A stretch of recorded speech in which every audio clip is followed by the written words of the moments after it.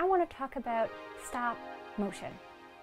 Stop motion is so much fun for so many reasons. If you have toys or action figures, you can make a whole film just by using stop motion in your house.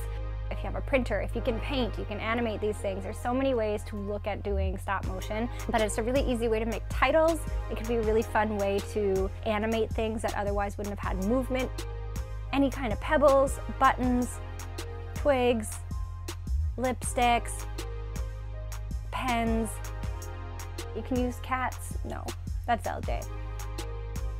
Anything you want to be creative with, you can do these titles. The whole idea is that you are moving the object yourself, but in editing, you're cutting out where you see the human interaction. And the process is long, but it can be fun, and for me it was therapeutic when I decided to try it, especially when I was a kid, especially when I didn't have access to a lot of the programs. Stop motion is such a fun way to be creative about all of it. Write a story, write a script, print out some characters, move them around, use Muppets, use stock characters, whatever you want to be doing. This is a really easy way to make any story you want come to life. And if you don't have video, you can do it with photos. It's the same concept.